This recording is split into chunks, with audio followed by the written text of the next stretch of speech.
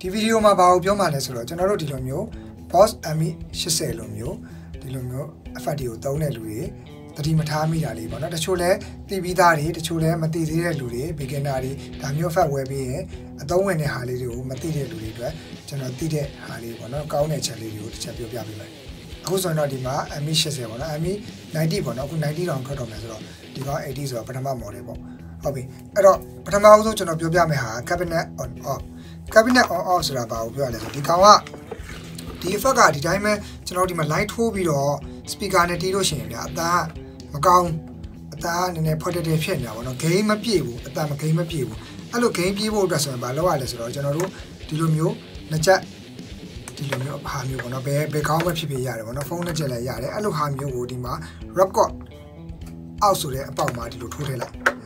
အဲ့လိုထိုးထည့်လိုက်ပြီဆိုတာနဲ့ဂိမ်းပြည့်တဲ့အတန် professional ဆန်တဲ့အတန်ကိုပြောင်းသွားတယ်ဒါကိုပြန်ဖြုတ်လိုက်ရင်ခုနအတိုင်းပြန်အရင်တိုင်းပြန်ဖြစ်သွားပြီဒီကောင်ထိုးလိုက်ရင်တော့ဂိမ်းပြည့်တဲ့အတန်ကိုပြန်ရတော့မှာဖြစ်ပါတယ်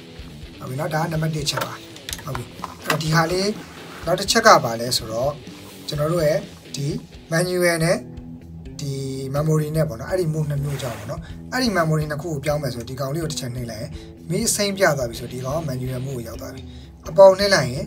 memory mode ကိုရောက်သွားပြီ okay အဲ့တော့ manual နဲ့ memory mode နဲ့ဘာကွာလဲဆိုတော့ဒီ memory mode မှာကျတော့ကျွန်တော်တို့ဒီ diagram မှာပြတဲ့ effect တွေကိုစိတ်ထားတဲ့အတိုင်းပဲကျွန်တော်တို့ဘတ်အနေနဲ့တစ်ခုပြီးတစ်ခုဒီလိုသွားမှာ ဒီမှာဆိုရင် U8 မှာ bat 1 2 3 4ရှိတယ်ဆိုရင်အဲ U8 မှာ quad ဒီမှာ clean ဆိုရင်ဒီမှာ distortion ဒီမှာဆိုရင်တခြားပေါ့နော်ဝါဝါဆက်ထားမယ်ဆိုရင်ဒီမှာဝါဝါပေါ့နော်အဲ့လိုမျိုးထည့်တဲ့ဟာတွေကိုပဲဒီလိုပဲခုံလို့ရတယ်ပေါ့နော်ကြာတဲ့ဟာတွေကိုသူကသွားမယ်ဆိုလို့ရှိရင်ကျွန်တော်တို့ကဒီလိုမျိုး override ဖွင့်တာတို့ဘာတို့ညာတို့အသေးစိတ်လုပ်ဖို့မလွယ်ဘူးပေါ့နော်ပြောချင်တာโอเคအဲ့တော့သူကစိတ်ပြီးတော့မှတစ်စင်ချင်းနင်းသွားတဲ့ဟာမျိုးဒီ menu ဒီမှာဒီ manual မှုကိုပြောင်းလိုက်ကြအဲ့လိုမဟုတ်တော့ဘူး ကျွန်တော်တို့ဒီမှာပါတဲ့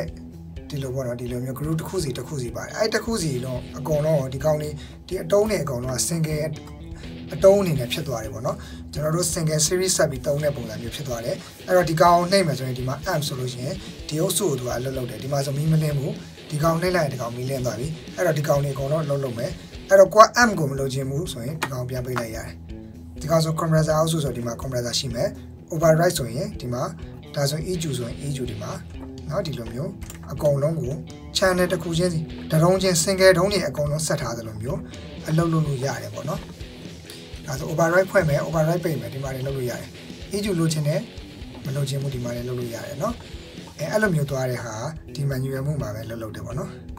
အဲ့ဒါဒီကောင် manual မှုရဲ့အတားချက်ပေါ့နော်ဒီ MH80 မှာလည်း boss မှာလူကြိုက်အများဆုံးချက်ကအဲ့လိုလုပ်လို့ရတာပေါ့နော်အဲ့လိုရလုပ်လို့ရတဲ့အချက်ကိုလူကြိုက်များပါတယ် ဒီ memory မှာတော့ခုနကျွန်တော်ပြောသလိုပဲ save save ထားတဲ့ဟာတွေကိုဒီ band နံပါတ်တွေနဲ့ဒီလိုတစ်ခုချင်းသွားရမယ်ပေါ့နော် band တစ်ခုတစ်ခုမှာဒီမှာဥပမာဆိုရင်ဒါဆို program 1မှာဆိုလို့ရှိရင်1 2 3 4 4ခုစေလို့ရမယ်ပေါ့နော် program 2မှာဆိုလည်း1 2 3 4 4ခုစေလို့ရကျန်တာကဒီမှာ EQ တို့ပါတို့ဒီလိုမျိုးကစားတာလေးပေါ့နော်ဒါဆိုရင် pre ခေါ်တာပေါ့နော်အဲ့လိုမျိုးလှုပ်လှုပ်တာဖြစ်ပါတယ်။ Okay အဲ့တော့ဒီချက်ပြီးတော့နောက်တစ်ချက်ကိုပြောပြမယ်။နောက်တစ်ချက်ကတော့ ကျွန်တော်တို့ကျူနာကျူနာကတော့ဒီမှာရေးထားတဲ့အတိုင်းပဲလွယ်လွယ်လေးရနော်ဒါလေးကိုဖိထားပြီးတော့ခဏစောင့်လိုက်ရင်ဒီမှာကျူနာပွင့်လာပြီ။ Okay နော်အဲ့ဒါကျူနာပွင့်လာပြီနော်အဲ့ဒါလွယ်လွယ်လေးပါဟုတ်ပြီ။အဲ့တော့နောက်တစ်ချက်ကဘာလဲဆိုတော့ကျွန်တော်တို့ noise gate noise gate ကဘာလဲဆိုတော့ဒီ edit ကိုဖိထားရမယ်။ edit ကိုဖိထားပြီးဒီမှာ band အပေါ်များနဲ့အောင်များနဲ့ကိုတစ်ချက်စီနှိပ်သွားရင်ကျွန်တော်တို့ရဲ့ right gate ကိုများများနည်းနည်းလုပ်လို့ရတယ် အဲ့ဒါဘယ်လိုနေရာမှာသုံးတယ်လဲဆိုကျွန်တော်တို့ဂီတာဟန်းဝင်နေတာပဲဖြစ်ဖြစ် distortion ပေါ့နော်မလိုအပ်တဲ့အတန်တွေကြကြိုးမကောင်းလို့ပဲဖြစ်တဲ့အတန်မျိုးတွေပေါ့နော်အဲ့လိုဟာမျိုးတွေကိုဒီကောင် attic ကိုဖိထားပြီးဘန်းကိုတိုးလိုက်တာနဲ့အဲ့ဒီအတန်မျိုးတွေညော့သွားတယ်အများကြီးတိုးရင်တော့ distortion ကိုပါနည်းနည်းထိခိုက်တယ်အဲ့ဒါကြောင့်ကျွန်တော်တို့အတက်နိုင်ဆုံးတိုးပေါ့နော်ဒီကောင်ကိုဖိထားရမယ်နော်ဖိထားပြီးနှိပ်ရမယ်လွတ်လိုက်ရင်တော့ဒီမှာပြောင်းသွားပြီနော်လွတ်လိုက်လို့မရဘူးနော်ဒီကောင် exit နဲ့ထွက်ဖိထားပြီးတော့ဒီလိုလုပ်ရမယ် အဲ့ဒါ noise gate ပေါ့နော်အဲနောက်ဆုံးတစ်ချက်ကကြတော့ကျွန်တော်အကြိုက်ဆုံးချက်ပေါ့နော်အဲ့ဒီချက်ကဘာလဲဆိုတော့ကျွန်တော်တို့ဒီမှာဒီ manual မှုထဲမှာကျွန်တော်တို့က effect ဆက်တော့မယ်ပေါ့နော်ဥပမာဒီကောင်အနေထည့်မယ် compressor ထည့်မယ် override တွေထည့်မယ်ဒီလိုမျိုးထည့်တော့မယ့်အခြေအနေမှာဆိုရင်ကျွန်တော်တို့ကဒီ manual မှုထဲက setting တွေကိုလည်းကျွန်တော်တို့ကြည့်ချင်တယ်ဒါပေမဲ့ဒီခလုတ်တွေက ဒီတိုင်းပဲအသေးပဲနေနော်ဒီလိုမျိုးကစားကြည့်လိုက်တာနဲ့သူကတန်းပြီးတော့လှုပ်သွားတယ်ပေါ့နော်သူ့ရဲ့ origin ကဘယ်လောက်ထားထားမှန်းလဲကိုကမသိရဘူးအဲ့တော့ဒီက setting ကိုလည်းယူခြင်းနဲ့ manual မှုမှာဥပမာဒီကောင်က memory မှုက age setting ကိုကျွန်တော်ကကြိုက်တယ်ဆိုရင် manual မှုမှာသွားပြီးတော့ copy ကူးရမယ်အဲ့လိုမကူးတတ်ဘူးဆိုရင်ဘာလုပ်ရမလဲဆိုတော့ဒီ setting ကိုကျွန်တော်တို့သိရမယ်အဲ့လိုသိဖို့အတွက်ကိုကျွန်တော်တို့ကဒီခလုတ်ကိုဒီလိုလှည့်ကြည့်နေရင်ဒီမှာပြောင်းပြောင်းသွားတဲ့အတွက်ကြောင့်အမှန်အောင်မရဘူးပေါ့နော် အဲ့ဒါကြောင့်ဘာလုပ်ရမလဲဆိုတော့ဒီ memory မှုကိုထားထားပြီး edit ကိုဖိထား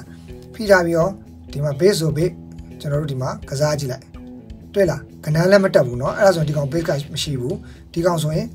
ဒီမှာ middle မှာဘယ်လောက်ထားလဲ83မကြည့်ခဏနေရောတာတင်းတာမဖြစ်ဘူးဘာကြောင့်လဲ edit ကို edit ကိုဖိထားလို့เนาะအဲ့ဒါဆိုဒီကောင်က middle 83ဒီကောင်က travel 50 level 50ဟုတ်ပြီဒီကောင်ကဘာမှထားလဲ ဒီကောင်ကနံပါတ်2မှာထားတယ်နံပါတ်2ဆိုရင်ဒီမှာအပေါ်ကနေရေးမယ်ဆိုရင်တော့ tremolo ပေါ့နော်အောက်ကနေရေးမယ်ဆိုရင်တော့ chorus ပေါ့နော်ဒါကတော့တစ်ချက်ပေါ့နော်ပြီးတော့နောက်တစ်ခုကဘာလဲဆိုတော့ဒီဘက်ကဥမာကျွန်တော်ဒီ gain level ကိုကြည့်ချင်တယ်ဆိုလဲအဲ့လိုပဲ edit ကိုပြီး gain ကိုကြည့်ကြည့် gain ဘယ်လောက်ထားတာလဲ29အဲ့တော့ quad ဒီလိုလှည့်ကြည့်ပေးမယ်လေဒီမှာကမပြောင်းသွားဘူးပေါ့နော်အဲ့တော့ setting အမှန်အောင်ရဖို့လွယ်တယ်နှုတ်မဆိုရင်ကျွန်တော်တို့ကဒီကောက် gain ဘယ်လောက်ထားလဲသိချင်ဒီခလုတ်ကိုသွားကန်လိုက်တာ ਨੇ ကျွန်တော်တို့ကဒီမှာတွေ့လား ကိုလှည့်ထားတဲ့နေရာနံပါတ်ကြီးတိုင်းပဲဒီမှာ80ဆိုပြီးတာဖြစ်သွားတယ်။ Okay နော်သူ original ကိုကျွန်တော်တို့မသိရတော့ဒီကောင်ဆိုရင် page ကဒီလောက်လောက်ရောက်နေတယ်။ဒါမှကျွန်တော်တို့အမှန်အောင်သိချင် update ကိုနှိပ် page ကိုနှိပ်ချက်63ပါပဲရှိတယ်။အဲ့တော့လွတ်ပြီးတော့ကျွန်တော်ဒါကိုကိုင်းကြည့်လိုက်။တွေ့လား80ကျော်တာဖြစ်နေတယ်။ Okay နော်အဲ့တော့ဒီအဖက်ကိုတုံးခြင်းအပြင်ဒီ setting လေးတွေအရေးကြီးတဲ့ setting လေးတွေကို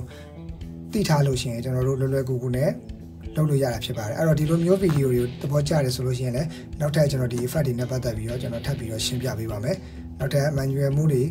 memory မှုတွေမှာလည်း effect ဆက်တဲ့နည်းတွေကျွန်တော်တို့ဒီကောင်တွေကို firmware မြင့်တဲ့ဟာတွေအဲ့လိုဟာမျိုးတွေပတ်တဲ့တွေသုံးတဲ့နည်းတွေပေါ့နော်ဒါမျိုးလေးတွေကိုကျွန်တော်ရန်ဖိုင်ရန်ကလုပ်ပေးသွားမယ်ပေါ့နော်ဒီမှာဆိုရင်ကျွန်တော်ဒီ control ကြောင်းလေးတွေဒီဒီ right to exit တို့အကြောင်းလေးတွေဘာမှမပြောခဲ့သေးဘူးပေါ့နော်ဒီအသုံးဝင်တဲ့အချက်လေးတွေတတိမထားမိတဲ့အချက်လေးတွေကိုပဲရှင်းပြပေးတာဖြစ်ပါတယ်။ အားကြောင့်နောက်ထပ်ဗီဒီယိုတွေမှာကျွန်တော်တို့ပြန်လည်ဆုံတွေ့ပါမယ်နော်။ Bye bye